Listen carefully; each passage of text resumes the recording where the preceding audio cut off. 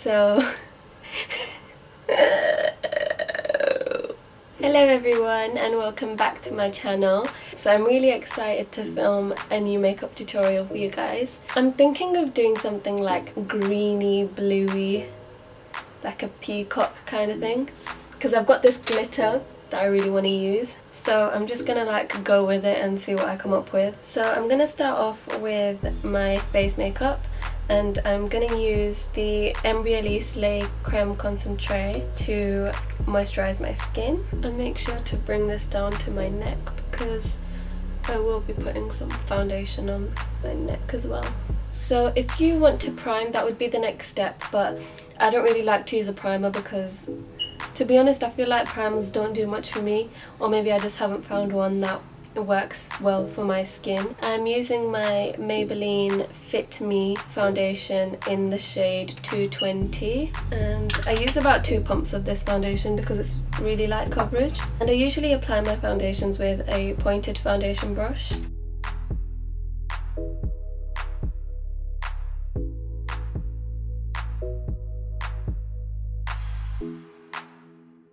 And then I'm buffing my foundation in with a 104 buffer brush from Zoeva. And then to conceal, I'm using my uh, Anastasia Beverly Hills Concealer in 3.0. And I've actually just started using this properly recently. And I don't think they're available on her website but I'm not sure. But have a look because they're really really good. Like they're good for concealing and they're good for um, highlighting as well. So I'm gonna dot this under my eyes and then I'm just gonna buff it in with the same brush. This is a Zoeva 142 and I just brush over what's left on the brush over my lids because I have a lot of veins that show. And then I'm gonna take some more and just conceal my scars and like any spots with the same concealer and the same brush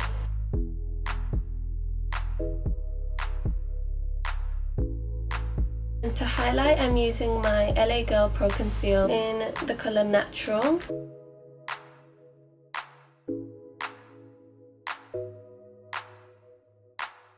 And then the more you bring in your highlight, the narrower your nose will look.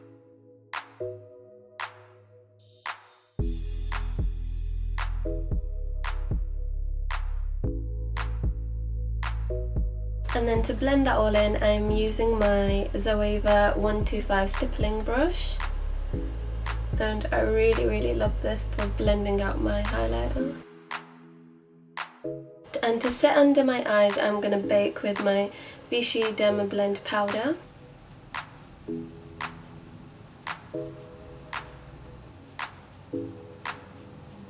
And then I'm going to set the rest of my face with NC40 Studio Fix powder from MAC on a Eco Tools blush brush, just anywhere I haven't baked. Well, not anywhere, just my cheeks and jaw area. The reason I'm doing this is because the foundation give, didn't give me that much coverage, so I want more coverage and this is a foundation powder. And then I'm taking NC20 powder on all the high points of my face. And now I can brush off the powder under my eyes.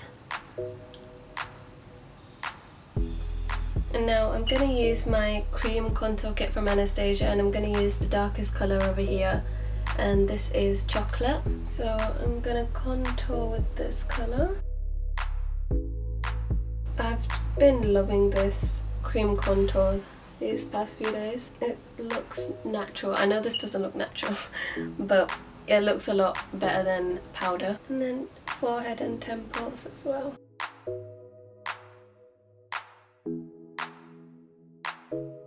To blend out my contour, I'm going to use the same brush as before, the stippling brush.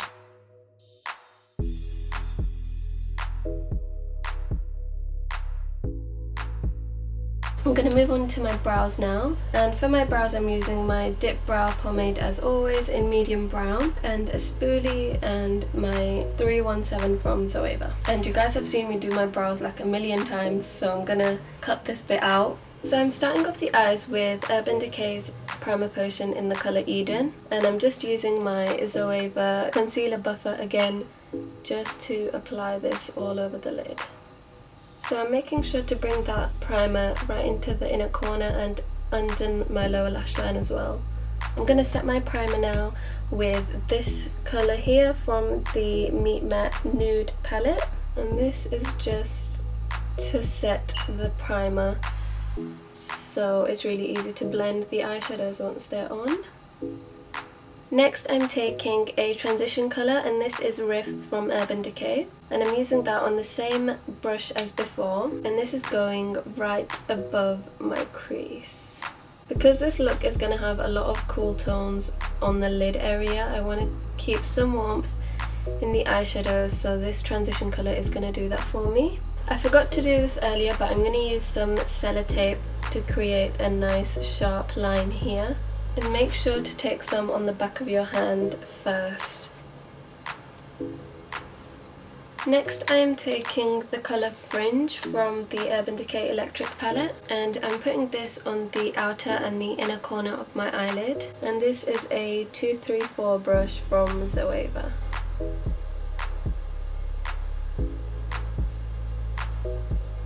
And I'm winging this out a little bit as well. And then on the same brush I'm taking this blue colour here. Uh, this is from Makeup Geek, I think it's called Mermaid but I'm not quite sure. I'll leave the name um, of the eyeshadows in the description but anyway. I'm using this in the centre of my lid. It's just a tad lighter than the colour we used before. And then I'm using this really well loved palette from Sleek and I'm using this dark colour here. Please don't mind the state of this eyeshadow palette, I've had it for years and I love it so much. And I'm just deepening up the outer and inner corner because that fringe colour was a good base but now we need to make that darker and add a little bit more depth to the look.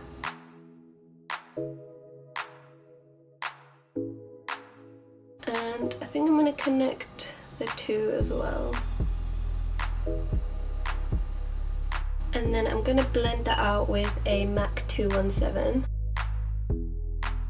I'm going to take a little bit of the dark blue colour on the tip of my 217 to just sort of smoke out the crease a little bit more and it's really good to do this with a blending brush because it just diffuses the colour as you're applying it.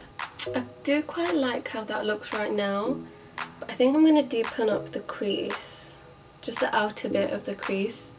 Um, I think I'm going to use black. I hope this goes well. I'm gonna smudge it in the outer corner. Okay, so it's time to take off the sellotape. And then on my lower lash line I'm using a green. I'm going to go for this one here which is Emerald from Anastasia Beverly Hills and I'm just going to use a small flat brush for this.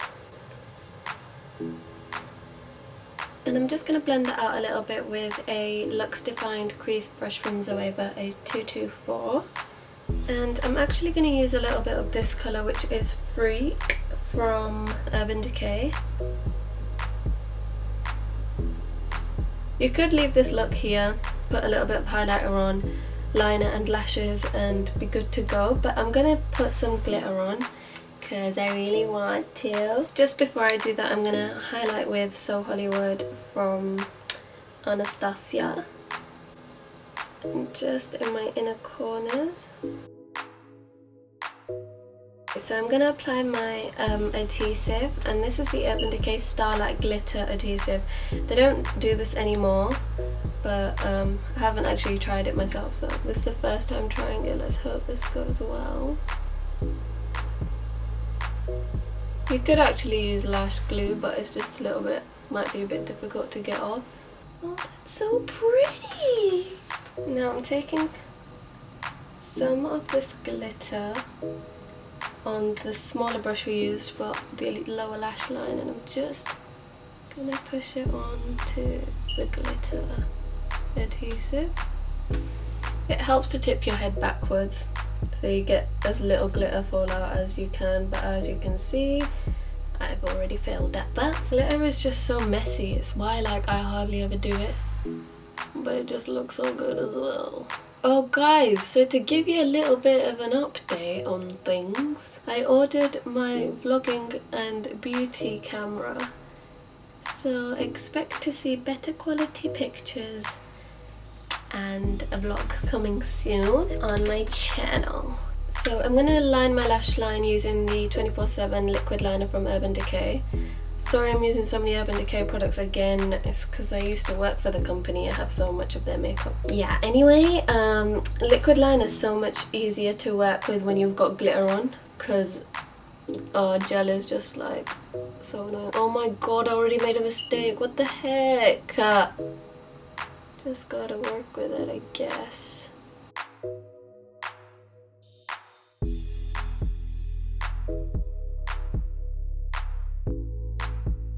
So I'm just to pat some of that black eyeshadow on top of the liner just to mattify it a little bit. I'm going to put some black eyeliner in my waterline as well. And then to diffuse that black, I'm just going to use a smudger brush with a little bit of black eyeshadow. Just push that along my lash line. And I'm not sort of like blending it in with the green too much. So I'm curling my lashes now. Okay, I'm gonna apply some waterproof mascara to make sure my lashes stay up and curly. For my lashes I'm gonna use the Ardell 113s. So I'm just gonna go ahead and measure these and then trim them if I need to. Think they're fine as they are so I'm not gonna trim them. Just gonna apply some glue and put them on my eyes. Oh my god I forgot to curl the lashes. No I need to curl the lashes first.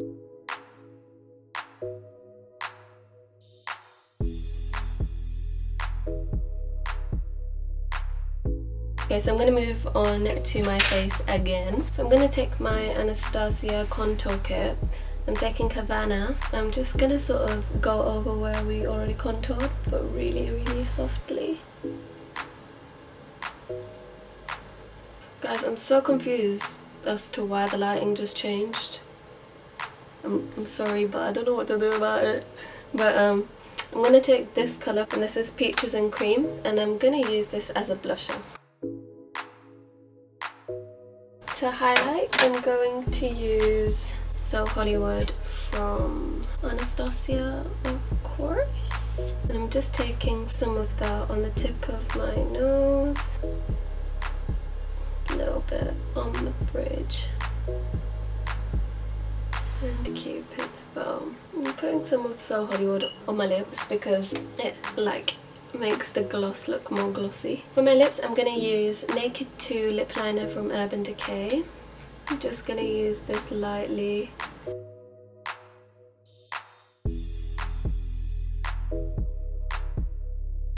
And then I'm going to use the matching lipstick which is Naked 2 and this is the Perfect Nude.